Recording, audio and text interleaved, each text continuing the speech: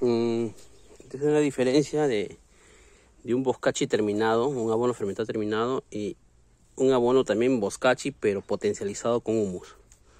¿no? Simplemente eh, a este de acá se le agregó humus y se volvió así, nada más. La proporción de 2 por 1, 2 toneladas de humus y una tonelada de, de abono fermentado. Pero esto también está mucho mejor, si fuera sin humus.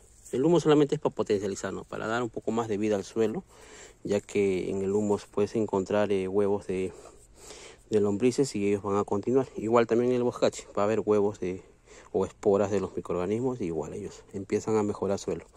Y esto de acá es el crudo que ahorita estoy haciendo.